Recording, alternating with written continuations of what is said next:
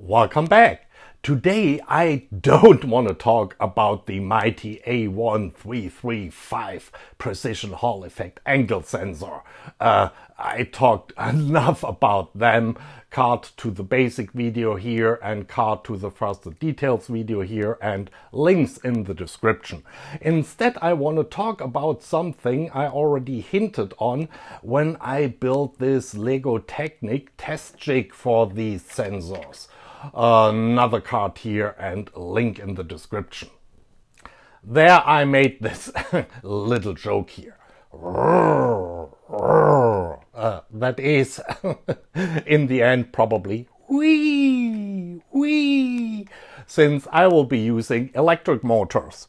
Anyway, we're talking here about a dual engine control lever or throttle lever or whatever you want to call it and it should be IP68. So, just that you know what we are talking about in case that uh, crude Lego Technic setup there of mine didn't make it clear, we're talking about engine control levers and here are a few of probably hundreds if not a thousand examples that are commercially available. And of course, we want to go for some uh, dual setup here for two engines. So there are a lot of commercial throttle controls available. Uh, of course they are. However, only very few are actually IP68 certified. And one of these products comes from a company named Glendinning. I assume it's the Rolls Royce of uh, engine controls for million dollar yards or something like that. Because uh, the cheapest IP68 offering from them, that's the pro grade throttle control, will set you back about 1700 bucks plus tax, of course. And yeah, they're very nice. Uh, you can get them with different interfaces, including CAN bus, but they are also for my application a little bit too large. So here the dual setup is about 17 centimeters in height, about 7 inches and 15 centimeters wide, so about 6 inches. That's, uh, yeah, I want it smaller. Here we have another example from Rim Drive Technology, uh, which incidentally sells you everything around electric propulsions of boats. And yeah, their uh, dual throttle control is much cheaper. Still extremely expensive but cheaper at yeah about 730 euros plus tax. And yeah I could actually go behind that design of their throttle here. Uh, nice and simple up to now, we just looked at products for pleasure vessels, not for commercial vessels. So uh, just to be complete, we have a look here at uh, Kwant Controls from Holland, I guess, or is that also Sneek Holland, the company? I have no idea. Uh, but they have here this nice, I, I really like that design, uh, the Bug G MK2 uh, it's of course IP68. And uh, yeah, can I blow that up? Yeah, yeah, I like that design. I really like it. Uh, a little bit too complicated uh, for what I will be able to do, but um, still very nice. And here we have an offering also for commercial vessels from Lilaas uh, the LF90 and that's also a very simple design here and it's not IP68 I just like the form factor because this is really nice and small. We have here some drawings at the bottom. So it's aboutish 10 centimeters, so uh, 4 inches in height. It's aboutish, yeah, total width is uh, 96 millimeters, so also 10 centimeters, and uh, width uh, or depth is also 10 centimeters. So it's 10 by 10 by 10 centimeters or 4 by 4 by 4 inches. And that's the size I'm really, you know, aiming for. Now, I mentioned all the time IP68, but what does that really mean? So IP stands for Ingress Protection Code and it's standardized by IEC 60529 as well as the European norm 6529. I won't go through all the number codes. Uh, sufficient to say that the first digit describes the ingress protections against solid objects. For example, a 2 would mean uh, you can't put your finger into it, and a 6 means it's really dust tight, meaning there's absolutely no dust ingress, even if there is a little vacuum inside your device. And the second digit describes the protection against water ingress. And there you have, yeah, you read that often, I guess, IP67. And the 7 here means that you can submerge your device in a depth up to 1 meter, so 3 feet 3 inches, for up to 30 minutes. However, 1 meter means at the lowest point. So if I submerge my phone, for example, into the water, the lowest point of the phone can reach one meter water depth for a maximum of 30 minutes. The 8 in IP68 means that you can submerge your device in a depth of at least 1 meter, again 3 feet 3 inches, or more for an indefinite time. Please note that the standard doesn't define that or more part, that's up to the manufacturer of the device. Again, the depth specified by the manufacturer refers to the lowest point of your device submerged in the water. To give you a few examples here, your run-of-the-mill waterproof or water-resistant phone is probably IP67 while your submergible pump for that little nice fountain in your pond is probably IP68 up to 1 meter, 2 meter, 3 meters or whatever. So, how do you get a rotating shaft here watertight according to IP68? Well, the answer is simple. Uh, you build in seals. However, That's not that easy and seals take up space. And as I mentioned, I want to build the whole thing small. However, we learned in the videos about the A1334 Hall effect angle sensor uh, card here, link in the description, that these thingies really don't care about a larger air gap or, for example, 2.5 millimeter of ABS plastic between the magnet and the sensor. That will still work. So what we can do is actually enclose the whole of the electronics in a watertight case and yeah, basically accept a little bit of water ingress in the mechanics. As long as that's only uh, sweet water um, or rain or something, that's okay. But admittedly, if we're talking about salt water, you will get salt deposits over time inside here and you will probably at one point have to take it apart and to clean everything out. But for me, that's an acceptable compromise. Talking about building the whole thing compact.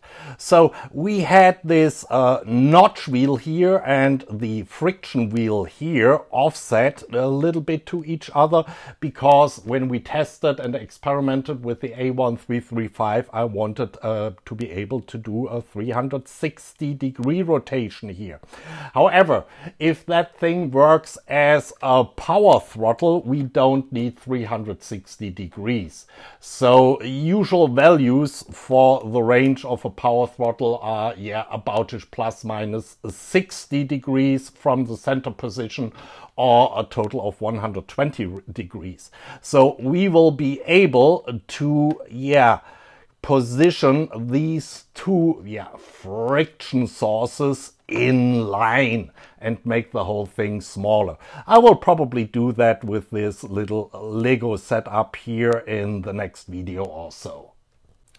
Let's talk about another key element of this construction, and that's friction. Here in my little Lego jig, I have uh, two friction wheels here, and the outer rim where the springs are pressing on, that has a diameter of 17 millimeters. The springs themselves, I mean, it's Lego, they are uh, quite weak affairs. The spring material itself has a diameter of 0.5 millimeters. They are about uh, seven turns and have a total diameter of 5 millimeters. And the whole thing here, all these Lego parts, are made of ABS. Let's put a little bit of physics and math behind that friction thing. So basically friction is when you have yeah two surfaces sliding that's called the kinetic friction across each other uh, if they are just pressed together and you're measuring the force that it takes to get them sliding, that's the static friction. But we're here just interested in the kinetic friction here. So what force do I need to apply sideways uh, to continue sliding here. Anyways, so we have a normal force, Fn, pressing from the top 90 degrees here, our two parts together. And then we have a force to apply here in parallel to get the, to keep the whole stuff sliding. And there is something called the friction coefficient. Well, in fact, there are two friction coefficients, one for the kinetic friction while you're sliding and one for the static friction when you're still not sliding. Anyways, the uh, normal force here coming down, pressing the whole thing together, multiplied by that friction coefficient micro k, gives you the force, the friction force you need to keep sliding.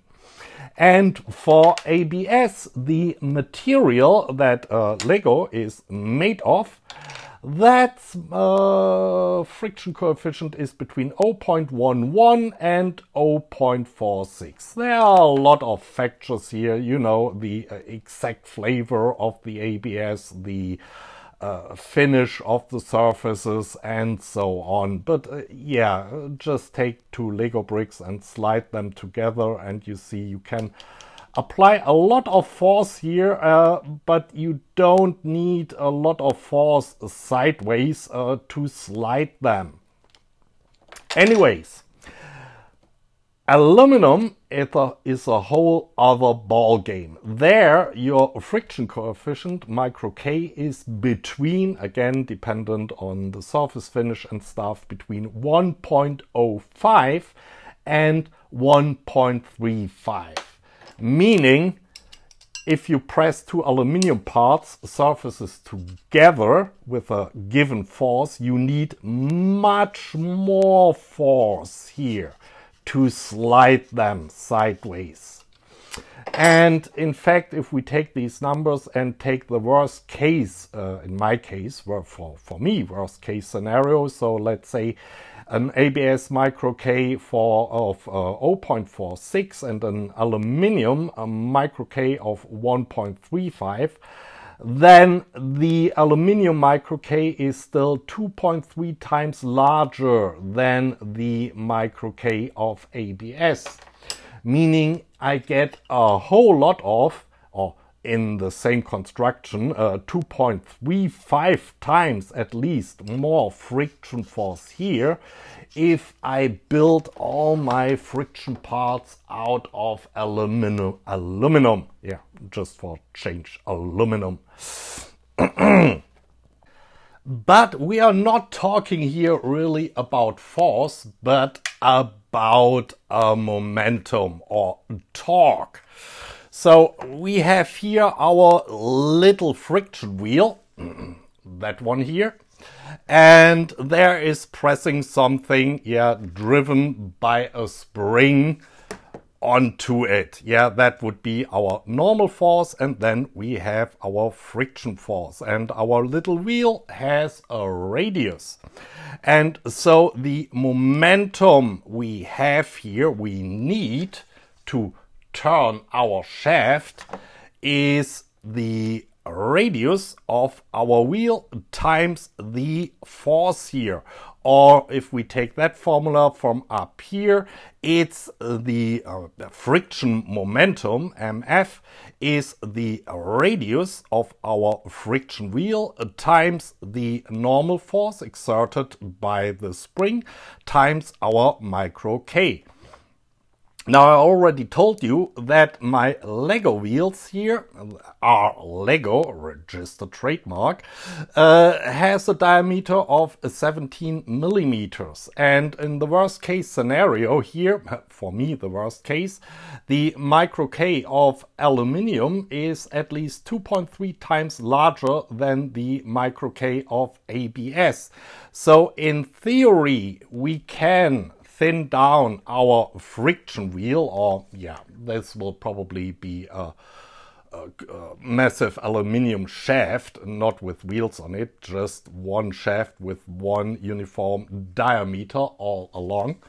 Uh, we can reduce that from 17 millimeters divided by 2.3, our factor here, to 7.4 millimeters. And this would be the equivalent to our Lego setup. Worst case, maybe we get out a little bit more friction. Maybe we can use uh, stronger springs. Yeah, these springs here are pretty anemic. We'll see. But yeah, that's basically the math and the physics physics you need to actually calculate the friction resistance here, or momentum, or torque. And that shall be enough for today. This was just intended as a little, yeah, no, project kick-off for the uh, dual lever throttle control or motor control, electronic of course, and IP68. Where would uh, do we go from here? Oh, well, I guess I will first change the little Lego jack here to make it uh, a little bit more compact uh, to get to the actual measurements that I'm aiming for, you know, 10 by 10 by 10 centimeters or 4 by 4 by 4 inches. I don't know if I can really do that using Lego, but uh, ah, we'll see. And uh, then i have to think how we build the whole uh, shebang together and what materials to use. I already mentioned the friction elements will be probably aluminum, but the rest, I guess I will take some plastic, maybe ABS, maybe nylon, maybe uh, or probably POM. Also, I have to think about it. Uh, we'll see how the whole stuff will fit together. So, till next time, bye.